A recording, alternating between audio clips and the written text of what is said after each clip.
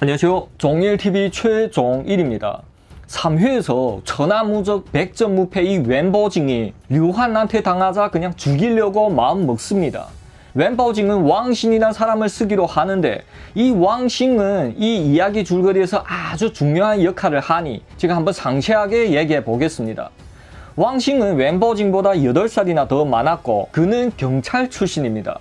그는 강도 살인 사건을 수백 개나 그냥 해결해서 려양이 명탐정 코난으로 불리웠답니다. 그리고는 형사 반장으로 승급하게 되는 거죠. 그의 재능을 알아본 경찰국 국장은 1985년에 왕싱을 북경경찰대학으로 보내 더더욱 심도 깊은 학습을 시켰답니다. 북경으로 가는 기차 안에서 왕싱은 웬버징을 처음 만납니다. 그 당시 19세였던 웬버징의 눈에는 이 온몸에 그냥 경찰복을 쫙 차려입은 왕싱은 그냥 겁나게 멋있어 보였겠죠. 웬버징은 눈에서 빛이 바짝바짝 나며 왕싱을 졸졸 따라다닙니다. 하지만 왕싱은 그런 커플릭의 웬버징을 보고 그냥 싱거웠겠죠. 하지만 이 앉아서 대화를 나눠보더니 왕싱은 깜짝 놀랐답니다. 얘 이거 보통이 아닌데 얘? 겁나게 똑똑함을 느끼고는 서로 사는 주소를 교환했답니다. 그때 이 웬버징은 중국 정치법률대학을 가고 있는 중이었습니다. 그때는 대학을 나오면 그냥 직장 안배를 다 해줬으니 웬버징은 그 학교만 나오면 전계 쪽으로 들어갈 수 있는 거죠. 왕싱은 얘랑 친해 나오면 나중에 무조건 신세질 일이 있음을 느끼고는 북경에 있는 동안 그냥 항상 웬버징을 불러서 밥도 사주고 잘해줬대요. 1987년에 왕싱은 졸업하고 려양으로 돌아갑니다. 하지만 그 둘이 연은 끊기지 않았죠. 그 둘은 서로 편지를 쓰며 서로 안부를 전하고 고민을 전했답니다. 아우야, 누가 너를 괴롭히면 얘기해. 형님 즉시 그냥 기차를 타고 가서 아작을 그냥 내놓을 테니. 그 둘은 끈끈한 그냥 연인 사이 같았대요. 왕싱이 기대는 정확했습니다. 웬버징은 대학교를 졸업하고 주식으로 돈 벌어 회사까지 차리게 되었답니다. 그리고는 그의 앞길에 그냥 꽃길이 쫙 펼치는 거죠. 하지만 려양에 있는 왕싱은 속이 싱숭생숭해 놨답니다. 동생은 저리 잘 나가는데 맨날 이 돈도 안 되는 경찰을 하니까 그 경찰 짓이 하기 싫은 거죠. 그는 과감하게 경찰서 반장직을 그냥 버리고는 사립 탐정소를 만들었답니다. 왕년에 명탐정 코난으로 좀 날았잖아요. 하지만 그것도 쉽지는 않았다고 합니다. 잘 되면 맨날 뭐 불륜에 외도하는 건만 들어오고 잘못되면 맨날 불법 수사라고 그냥 신고가 들어왔으니 말이죠. 이어 탐정소를 문 닫고 또 물류회사 쪽을 한번 해보았답니다. 왕싱은 담력도 크고 배짱도 좋았지만 이 상업 쪽의 머리는 잘 안 돌아갔답니다. 그는 너무도 답답해서 웬버진과 통화하였는데 형 그런 거 해봤자 뭐합니까? 큰 돈 안 돼요.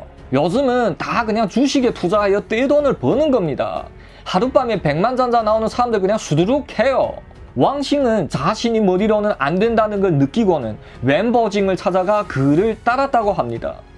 그 이후부터 웬버징은 2년 사이에 그냥 60여 개의 회사를 먹어치우게 됩니다.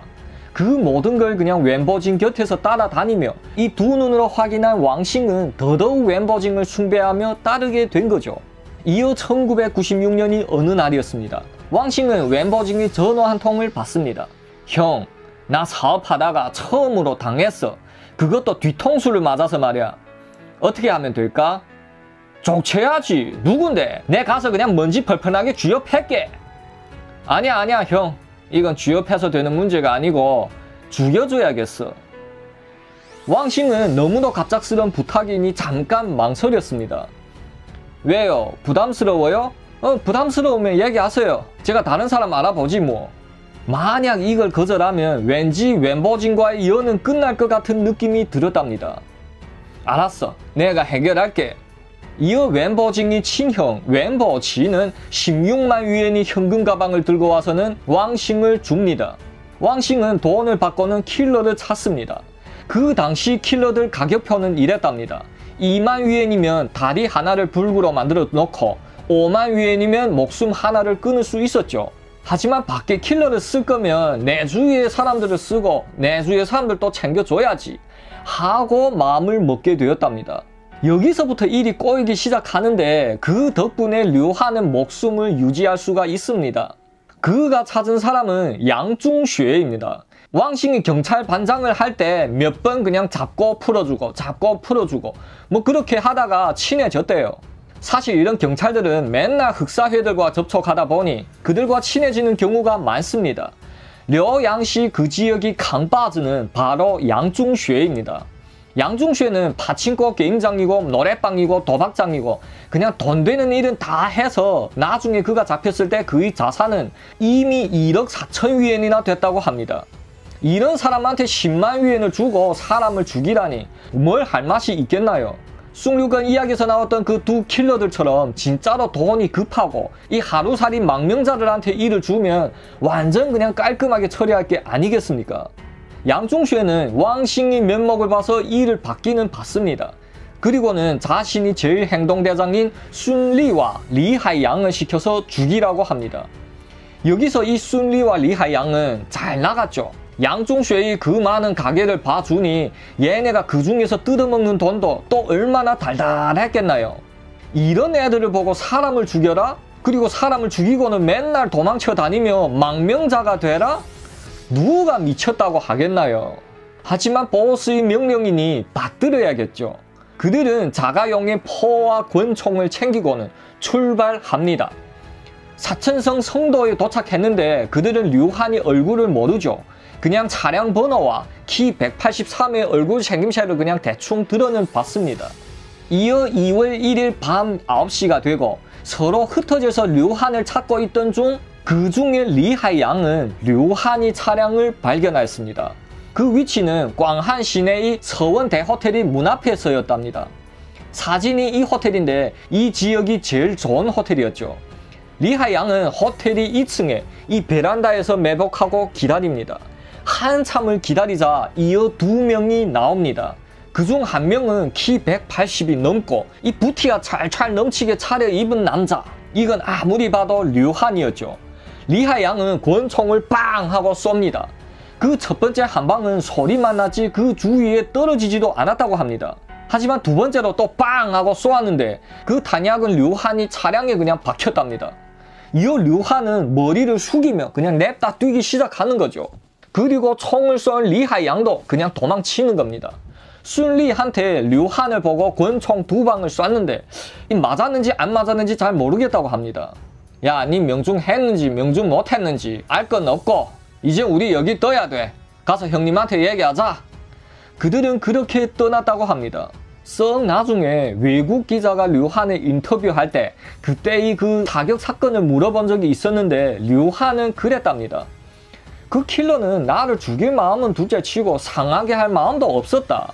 그 사격거리는 몇 미터도 안 되는데 딱 그냥 나의 뒤통수에서 쐈는데 그걸 못 맞히나?